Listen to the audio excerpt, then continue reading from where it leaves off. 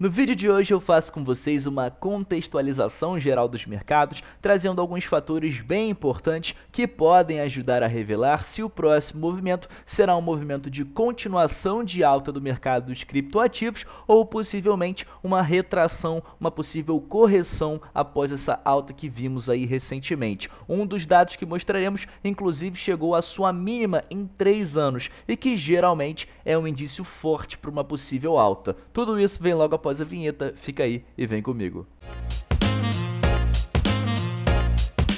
Fala família, sejam todos muito bem-vindos a mais um episódio da Liga Cripto. Se você é novo por aqui e ainda não me conhece, muito prazer, meu nome é Bruno. Já inicio o nosso vídeo de hoje pedindo a você que me assiste para, se possível, deixe o seu like, se inscreva no canal se ainda não for inscrito e deixe um comentário aqui no final do vídeo que você achou das informações trazidas, que ajuda demais na propagação do nosso conteúdo. Iniciando o nosso vídeo de hoje, temos aí uma semana bem importante com dados de inflação sendo divulgado nessa sexta-feira, o PCE, principal dado de inflação levado em consideração pelo Banco Central norte-americano no momento de manutenção das suas políticas monetárias, ou seja, no momento de possíveis novos aumentos de juros, que como já falei com vocês em vídeos anteriores, muito provavelmente veremos um aumento de 25 pontos na reunião do dia 1 de fevereiro. Nesse momento, o Bitcoin acima dos 23 mil dólares, lutando para se manter nesse patamar de preço. Vimos durante o final de semana chegando aí a 22.600, 22.700, retomamos o patamar de 23 nessa segunda e terça-feira, SP500, principal índice da Bolsa Norte-Americana, também chegando acima dos 4 mil pontos, que é uma resistência muito importante. Caso de fato venha quebrar esse patamar, poderá ser um impulso aí para o mercado das criptomoedas. Agora, o que falaremos nesse vídeo é um ponto positivo e um ponto negativo, alguns fatores aí que eu achei bem relevante da gente comentar no conteúdo de hoje. A primeira é essa aqui, um fator positivo. Perspectivas seguem positivas enquanto mineradores de Bitcoin mantêm participações depois de um ano de 2022 bem complicado e conturbado, com fevereiro a gente vendo guerra da Rússia, diversos apertos monetários por parte do Banco Central, aumentando e muito a sua taxa básica de juros, o que trouxe um aperto monetário muito forte e, naturalmente, um escoamento de capital para fora de ativos de risco, para fora de mercados de renda variável. Vimos também o colapso de todo o ecossistema de Terra Luna, a quebra de uma das principais corretoras de criptoativos, a FTX, o que trouxe muitas dúvidas e inseguranças ao mercado dos criptoativos e outros diversos fatores, como por exemplo as vendas em massa por parte dos mineradores de Bitcoin durante aí quase todo o ano de 2022, o que obviamente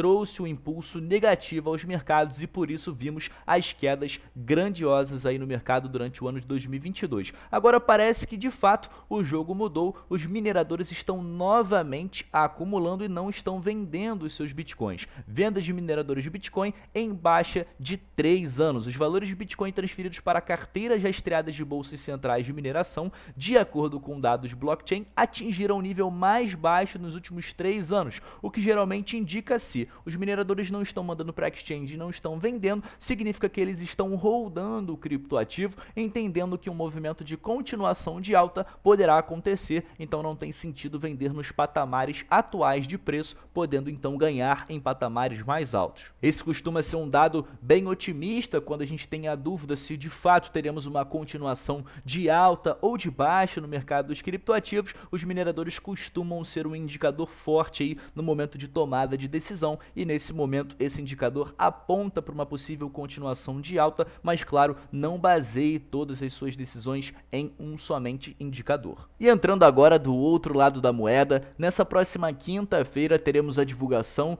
do dado dado referente ao quarto trimestre de 2022 do PIB norte-americano, o produto interno bruto, que basicamente foi um dado aí muito acompanhado durante o ano de 2022. Os dois primeiros divulgados no primeiro quarto e no segundo do ano passado trouxeram um sentimento aí de uma possível recessão, falava sobre uma possível recessão técnica, quando a gente via aí um PIB muito negativo. Essa notícia que eu trouxe para vocês trazem para a gente projeções para esse dado de quinta-feira sólidas, ou seja, uma projeção de crescimento desse último trimestre de 2022. Ainda persistem preocupações com uma possível recessão, mas a perspectiva de modo geral é positiva para as expectativas do PIB nos Estados Unidos. Com base em um conjunto de projeções compiladas. Agora, basicamente, esse dado sairá na quinta-feira, tem projeções positivas, mas qual seria o outro lado então da moeda de que estamos falando? Será que as chances de uma possível recessão foram chutadas para longe? Estamos de fato seguros? Bom, é sobre isso que falaremos agora. A estimativa otimista do quarto trimestre vai de conta com outros indicadores que pintam um quadro mais sombrio.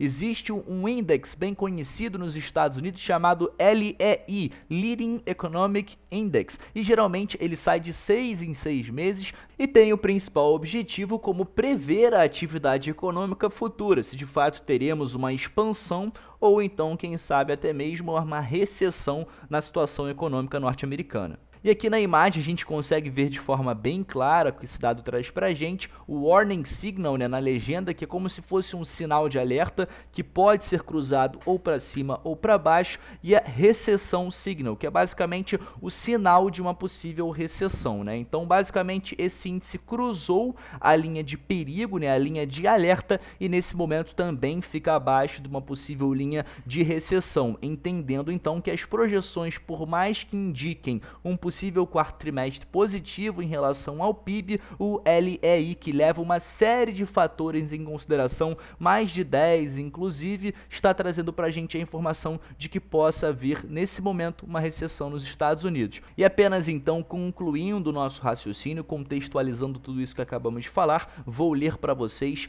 basicamente a declaração do sênior de economia da Conference Board, que é inclusive né, os responsáveis pela criação da LEI, que é esse dado que acabamos de comentar, a LAI voltou a cair forte em dezembro, sinalizando uma recessão nos Estados Unidos no curto prazo. Houve fraqueza generalizada entre os principais indicadores em dezembro, indicando uma deteriorização das condições para os mercados de trabalho, manufatura, construção de moradias e mercados financeiros nos próximos meses. Como falamos anteriormente, Antes de apontar para vocês a situação dentro do gráfico, esse é o indicador, um index, melhor dizendo, que traça para a gente a atividade econômica futura, tentando então prever qual que é a situação econômica nos próximos meses dentro dos Estados Unidos. E a situação, como vocês podem visualizar, não está bem positiva aqui como esse índice traz para a gente. Então, por mais que por um lado seja positivo dentro do mercado dos criptoativos,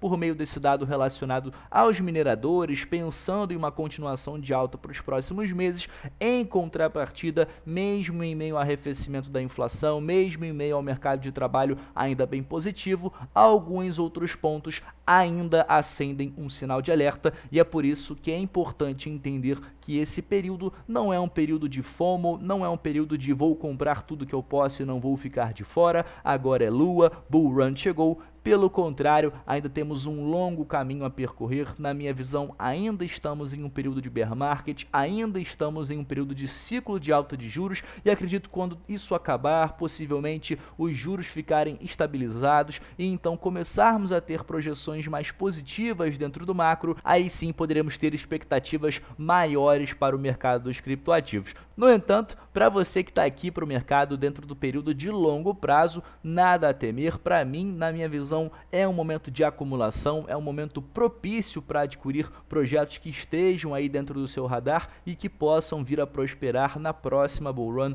no próximo ciclo de alta. A gente vai encerrando o nosso vídeo de hoje por aqui. Peço a você que confira aqui todos os links da descrição desse vídeo. Temos a nossa parceira Bybit aqui onde você pode operar tanto no mercado de opções, tanto no mercado de perpétuos e até mesmo comprar criptoativos em mercados spot. Temos a nossa parceira Cash forte para você viver com seus criptoativos longe de exchange, fazer a sua própria custódia, comprar a sua carteira fria. E a Sportsbet também, parceira dentro do ramo de apostas esportivas com criptoativos e inclusive com um pouquinho de Web3, onde você pode criar a sua conta utilizando a sua MetaMask. Vou me despedindo por aqui, agradeço a você que ficou comigo, deixe o seu comentário se possível se você acredita numa continuação de alta ou então num possível movimento de baixa e eu vejo vocês no meu próximo vídeo.